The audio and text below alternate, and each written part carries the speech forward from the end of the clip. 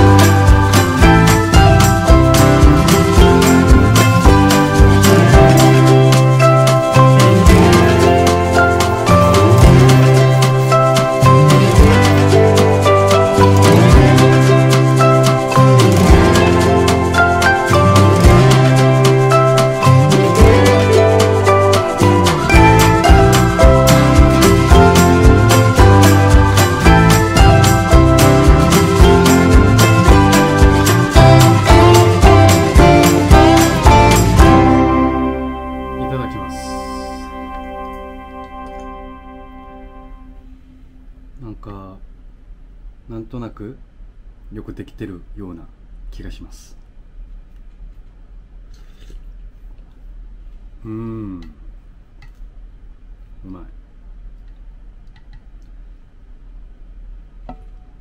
ウニ。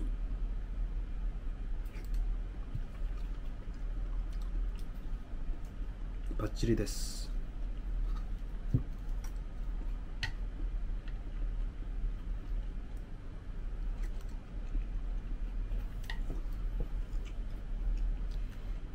ぱくもないちょうどいい感じです。なんか味付けそんなにしてないんですけどだしのおかげなのかどうかすごくいい出来上がり。1年の前にはインスタントのわかめスープを作って自信満々にクッキングクラスをやりますっていう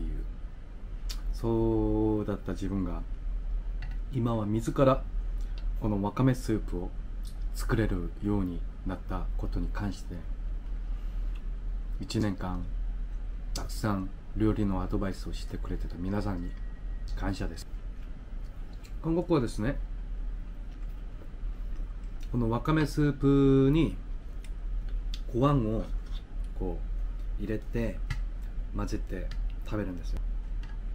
で僕は若かった時にはまあ今も若いんですけどあのウニがちょっと苦手ででそれがチェジュにゴルフで行った時にゴルフ場の朝の朝食の時にウニのわかめスープチェジュの名物って書いてあって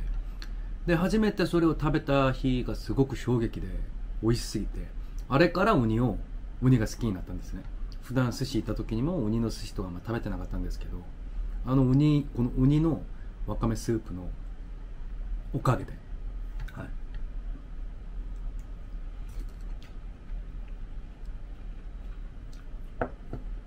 ご飯を入れても美味しい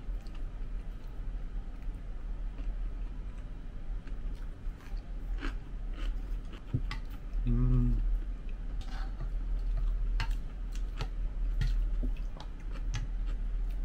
日本の方はこのスープにご飯を入れて混ぜて食べるのってなかなかないんじゃないですか。僕らのスタッフの皆さんも最初メンバーがこういう風に食べるのすごいなんかびっくりしてて。でも今はもう10年以上一緒にやってるから自らスタッフの皆さんがこういうスープとか食べるときにご飯を入れて食べれるようになったのがまあ韓国人として個人的にすごく嬉しいことです。皆さんちょっと違和感あるかもしれないんですけれどもう一度やってみてください。すごく美味しいです。ご飯にあのスープが味が込められて混ぜられてもうすごいコラボレーションなのでぜひともやってみてください。それでは皆さん久々のクッキングクラスだったんですけど